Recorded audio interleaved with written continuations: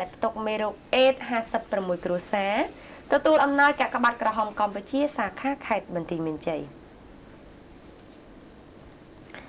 អភិបាលរងខេត្តបន្ទាយមានជ័យកាលពីរសៀលថ្ងៃទី8ធ្នូម្សិលមិញបាននាំយកអំណោយរបស់កាកបាទក្រហមកម្ពុជា សាខាខេត្តបន្ទាយមានជ័យចែកជូនដល់ប្រជាពលរដ្ឋ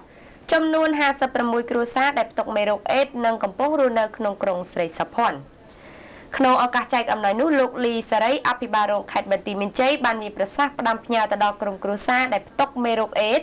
ឲ្យស្វែងយល់និងផ្ដាំទៅសមាជិកគ្រួសារដែលពុំមានផ្ទុកមេរោគអេដត្រូវយល់ដឹងអំពីរបៀបនៃការបង្ការកុំឲ្យឆ្លងហើយអ្វីដែលសំខាន់សូមគម្រើអើងចំពោះអ្នកផ្ទុកមេរោគអេដ លោកបន្តថាសូមកុំអៀនខ្មាស់ចំពោះការនិយាយអំពីជំងឺអេដតែប្រសិនបើបងប្អូនសង្ស័យថាខ្លួនអាចមានផ្ទុកមេរោគនេះសូមប្រញាប់ទៅមណ្ឌលសុខភាពដើម្បីទទួលការពិនិត្យនិងផ្ដល់ថ្នាំដែលឥតគិតកម្រៃឡើយចំពោះអំណោយដែលត្រូវចែកជូនរួមមានអង្ករ25គីឡូក្រាមត្រីខ5កំប៉ុង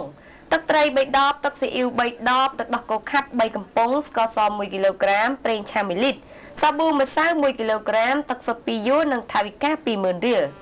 បន្ទាប់ពីផ្ដល់អំណោយជូនក្រុមគ្រួសារដែលផ្ទុកមេរោគអេដខាងលើលោកលីសេរីក៏បាននាំអំណោយកាកបាទក្រហមកម្ពុជាចែកជូនក្រុមគ្រួសារដែលស្វាមីដេកស្លាប់រួមមានថវិកា100,000រៀលអង្ករ25គីឡូក្រាម